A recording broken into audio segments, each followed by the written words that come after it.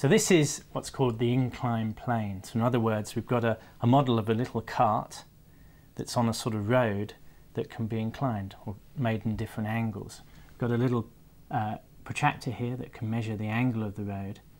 We've got a weight hanging here which goes to a pulley which goes to our little wagon.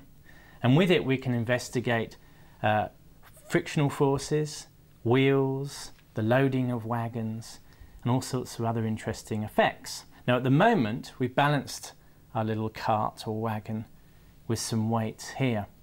So if you like, the two are balanced, so the cart is neither going forward or backwards, and the weight is neither dropping. Now in the ideal case, of course, if there was no friction anywhere, and the wheels were perfect, if you put a tiny little weight here, the cart would move. So this weight could correspond, if you like, to a horse drawing the cart, or a modern day equivalent, the motor of an engine in a car. Now at the moment we've set this up for a certain road angle.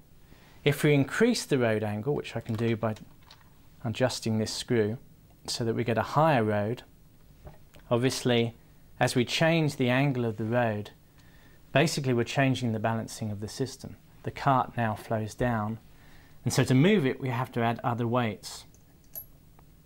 Now the amount of weight you have to add you can work out using trigonometry. It turns out that uh, the higher the angle of the road, the greater amount of weight obviously you have to have, and you can use trigonometry to work out what these weights are.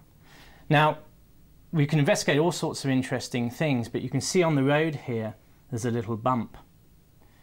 And as the wheels come up to this bump, obviously the wheels have to then go over this bump, which requires extra force. And you can think of the bump itself, the angle that the wheels hit the bump is in itself like an inclined plane.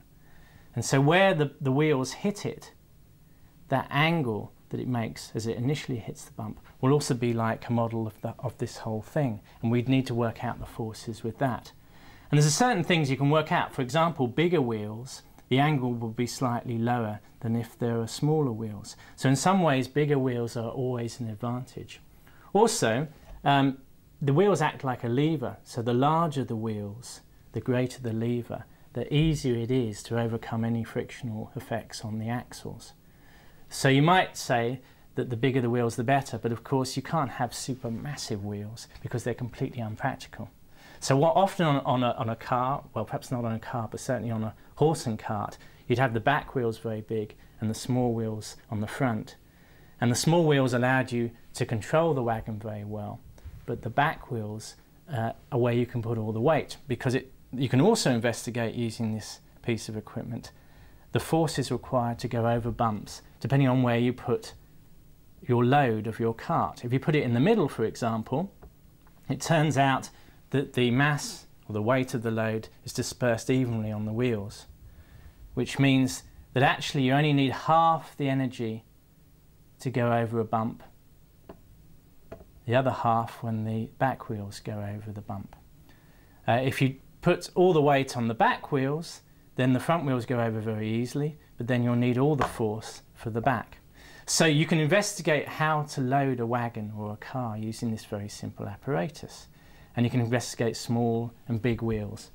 So actually, although it's a toy, and although it's a rather nice looking toy, it had lots of practical uses for understanding vehicles, which is obviously important today.